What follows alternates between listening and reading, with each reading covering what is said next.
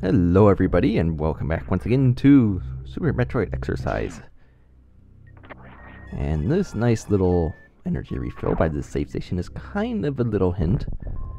I was a bit suspicious of it though. Because who puts energy refills by save stations? It just doesn't make sense. But anyway, that's kind of a hint because you're supposed to do a heat run, which I attempt to do, but in the wrong spot. I was already through the door in the last video, and I just didn't go anywhere. But it's heated down here. I'm like, eh, whatever. That can't be anything. Because there's no way a hack would require it. Then I'm like, well, I'll try for it anyway. Even though it's quite apparent I need grapple. I was almost worried this was going to be another hack that gave me grapple really late because I'm finding grapple blocks now, but I don't have grapple. So I was kind of worried it was just taunting me. Either that, or I just missed it somewhere. Which is a possibility because you remember up top the elevator there was a little area to the right. The pre-Kraid elevator. Which I didn't go to, I decided to look down here first. And you can't really do anything over there yet anyway, because I believe you need super missiles.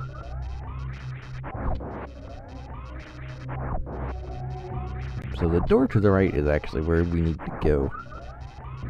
But I end up going back up through the wonderful purple bubbles.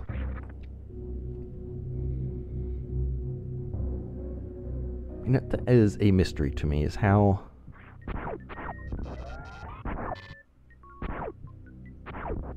So many get purple bubbles wrong. Uh, it just seems like a whole lot don't get them right. And it's not that hard, you just get rid of the red glowy bits. Make them actually purple. So I decided to try this again, but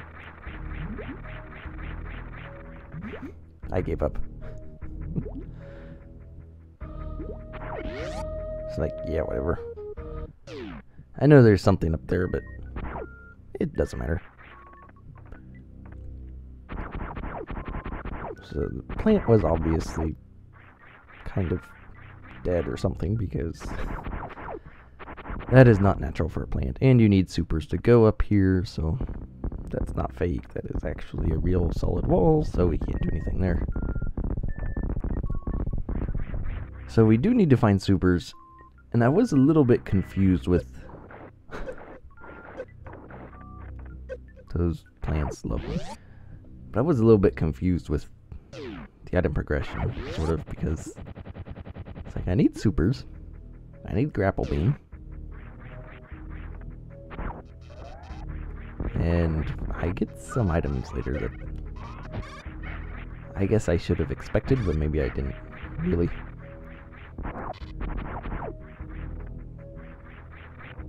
So I came back up here, and this is where, if you remember that energy tank I that was in the floor, that CRE block I missed earlier.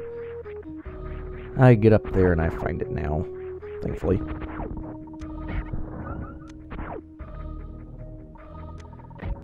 Just have to ride the turbo tube or whatever. That's not a turbo tube, but... And those guys respawning are really annoying. If you want to annoy somebody, make those guys respawn, because they're super annoying.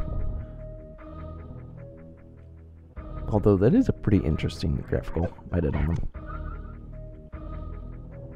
They're still annoying. Especially like that. It's like, what's the worst enemy we could combine with the Nom Nom plants? How about another enemy that just latches on and sucks your energy out? Why not?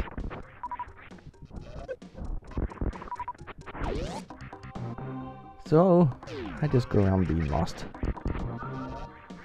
quite stupidly because I haven't really explored much into Norfair. I kind, I'm kind of thinking because it's sort of like rooms like that is kind of like a half hack. I'm kind of thinking I need to go to the right. And Kraid's back there. He's going to be my next boss. I get supers from him or whatever. Or grapple beam even. I guess I should say. Excuse me.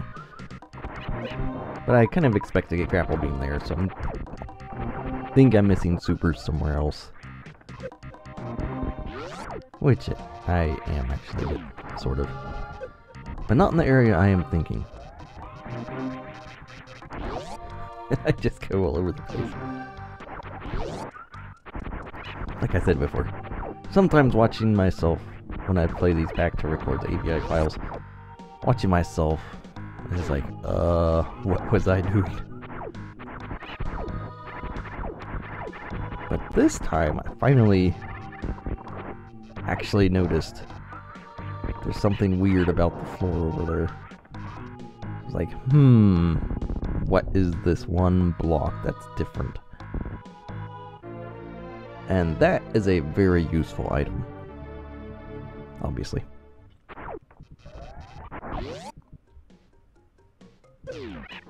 And with that, I actually now have half the energy tanks I collect this entire hack. And I haven't defeated one major boss yet. Now, I'm pretty sure he has all 14 and 4 reserves in this hack. But it's... I only recall finding 7 total. I just didn't go back and collect one. I don't know. Seems like energy tanks may have been exceptionally well hidden.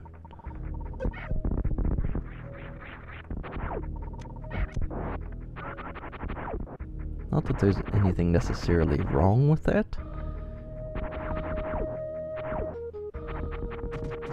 But I think, again, having an energy tank, a few, two or three of your energy tanks just out in the open, is better than hiding, than only having like one. Because um, pretty much you could spot the player finding three energy tanks, three or four, e easily enough. Or at least if you hid them, hidden quotation marks, I guess. If you hid them in good ways where they are hidden, but the player can still find them relatively easily. You can spot them like three or four that way, and then give them another two or three in their path. That way, you could pretty much guarantee, you know, seven. They'll at least have half the energy tanks if you didn't mess with the HUD or anything like that. Which I have to say, I prefer a four-digit energy counter. I have that in my own hack, and I've liked it much better than the energy tank thing. But to each. People like different things. And so this is the heat run that is required. And it is not very hard, thankfully. You could do it with the two energy tanks, probably even with just one, but... got the refill there. Just don't get smacked by the boulder. I decide to refill up on this guy.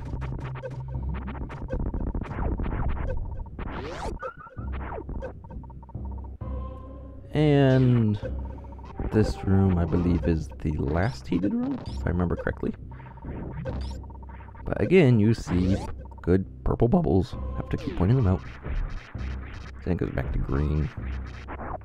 There's nothing wrong with green, the green bubbles. I don't know why people change these, but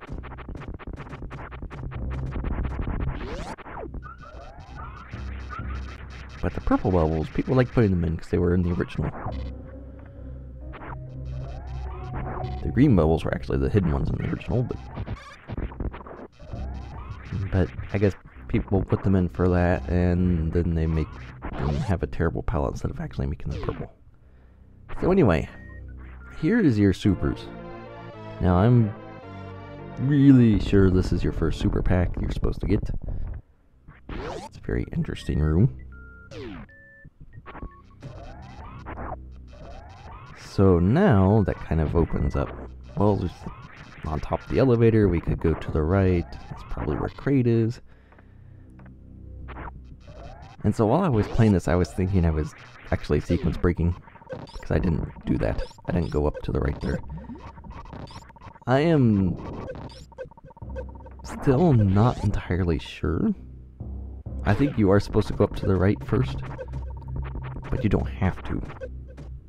I went somewhere else instead, which I think worked out fairly well.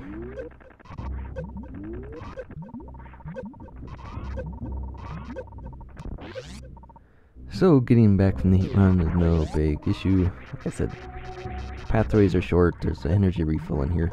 And if you have these three energy tanks, maybe you found another one I didn't get. You'll have plenty of energy. You can afford to jump them off a little bit. And mess up. And those things are really, really weird looking. And not in a good way. I just actually saw someone post about this hack that it seemed like the tile work seemed a little busy, and I would have to agree with that.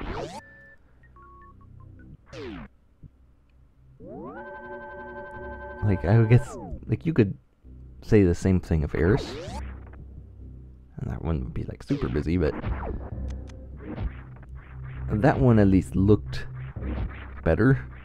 When it's busy and it doesn't look that great, that's like a combination that's really bad. Because then it becomes much more noticeable. And now here's something about this hack that you may or may not like. I th think, I'm not 100% sure, but I think Mockball is required here. You can there is the speed ball. It actually builds up speed in Morph Ball, so you can do that. But I don't think you can have Speed Booster before this. I might be wrong. In fact, I probably am, but... Of course, I haven't really thought about too much. So maybe if I looked into it more, I'd know for sure, but... If you're going here now, you need to Mock Ball. And not like that as I fill out my balls.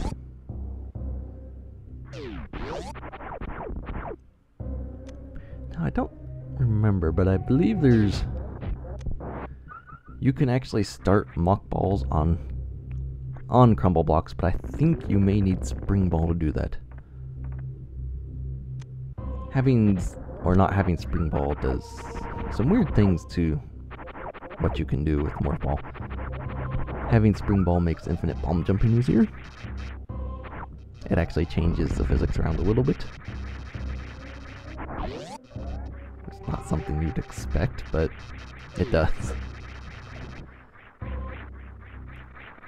And so here's why I believe you're supposed to go the other way.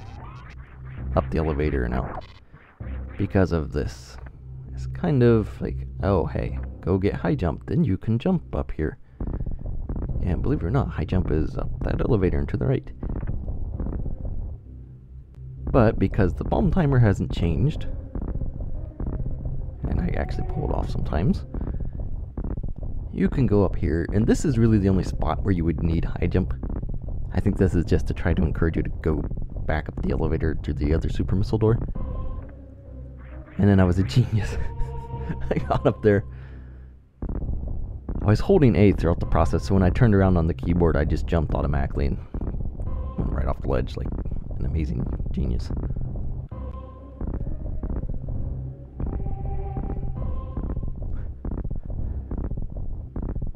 So we get back up there. And like I said, this is really the only spot where on this path where you like really need high jump at least to avoid the um, infinite bomb jumping bit. But then we get thrown back into Brinstar. We left Norfair, now we're in a little bit of Brinstar. Some side hoppers hanging out up there. There's this guy kind of stuck on the wall, something on the floor there, obviously. And this room is kind of easy to tell what it used to be too, because it was pink Brinstar. Had an energy tank in it, or it didn't have an energy tank in it. It had side hoppers, these side hoppers in it, and this pillar thing. But it was next to an energy tank at Pink Brinstar. Anyway, destroying these guys will open up the locked door, which is how we advance, because the top door is a save room, and I actually that's where we end up leaving the, this video off. But before that, we get to check this out, and this is like another little puzzle thing. And I'm not entirely sure if you're supposed to do it the way I did. Which you won't see in this video, we'll get to that in the next video, but that gate comes down. And this hole means you can't mock ball across. Gate isn't timed, I checked that. It just comes down based on your proximity to it, so you can't just run through the room and get through the gate. So I came up with an interesting little way, which I think is actually pretty neat. I don't think I've seen this required before. But it also had me wondering if I was supposed to have Spring Ball and Speed Booster before here, but I don't. so, yeah, anyway, this is where leave the video off, so thanks for watching. In the next video, we'll get through that gate and see what lies beyond it, which is very interesting. So we will see you for that.